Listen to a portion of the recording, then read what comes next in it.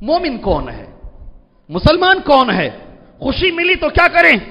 پریشانی آئے تو کیا کریں؟ خرچداری کا بوجھ آئے تو کیا کریں؟ دین کے اندر فتنے آئے تو کیا کریں؟ باہر مسائب و عالم کے پہاڑ ہو تو کیا کریں؟ آج مجھے وہی بتانا ہے۔ اللہ کے کلام کو سامنے رکھ کر نبی کریم صلی اللہ علیہ وسلم کی احادیث کو سامنے رکھ کر یہی چیز مجھے تمہارے سامنے میرے اپنے لیے اور آپ بھائیوں کے لیے اللہ پاک نے کیا فرمایا ہے؟ میں کہتا ہوں، نبی کریم صلی اللہ علیہ وسلم نے فرمایا عجبن لامر المؤمن عجبن لامر المؤمن۔ مومن بڑا عجیب ہوتا ہے، اس کا کام ہی عجیب ہوتا ہے، سبحان اللہ۔ یہ نبی فرماتے ہیں عجبن لامر المؤمن۔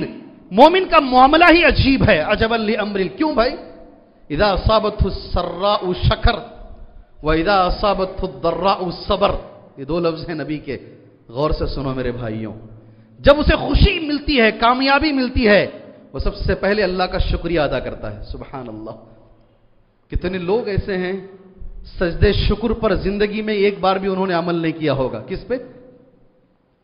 کتنے لوگ ہمارے مسلمانوں میں ایسے ہیں، شکریہ کا سجدہ پوری زندگی میں نہیں کیا ہوگا انہوں نے۔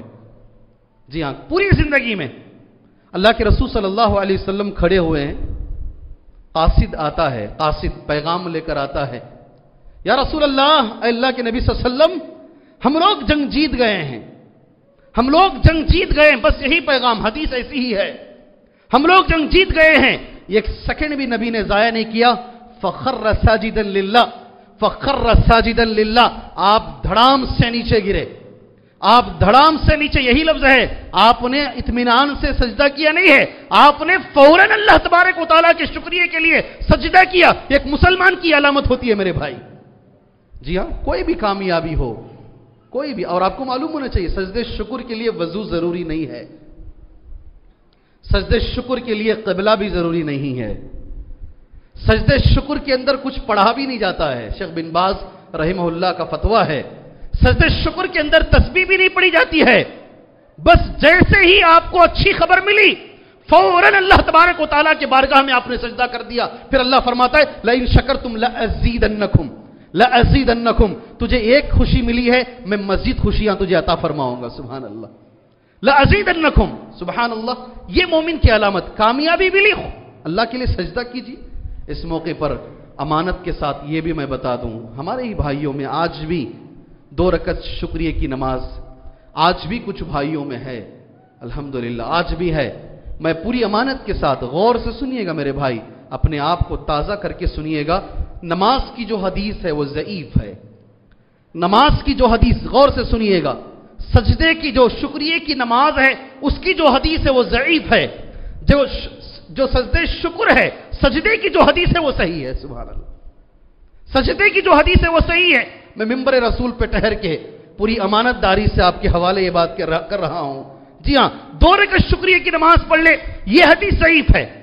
اس کی کوئی سند نہیں ہے، صحیح سند نہیں ہے۔ آپ جو سجدہ کریں، اس کی حدیث صحیح ہے۔ آپ اسے ذہن میں رکھ لیں، میں اس لیے بول رہا ہوں، ہمارے خود کے بھائی، کئی لوگ باقاعدہ بولتے بھی دو رکت نماز پڑھ لے شکریہ کی۔ اس لیے مجھے اس موقع پر یہ بات بتانے کی ضرورت پڑ رہی ہے، یہ مسلمان کی علامت ہے۔ اللہ نے کامیابی دی، شکریہ۔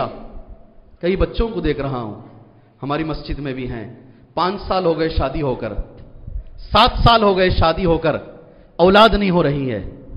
اولاد نہیں ہو رہی۔ بہت پریشان ہیں۔ میں جانتا ہوں، اس لیے کہ مجھ سے دعائیں لکھواتے ہیں۔ پوچھتے ہیں، حضرت کیا کریں؟ کیسا کریں؟ جتنے اچھے ڈاکٹر ہیں، سب ہو گئے ہیں۔ مگر میں نے دیکھا ہے، سولہ سال کے بعد اللہ نے اولاد عطا فرمائی۔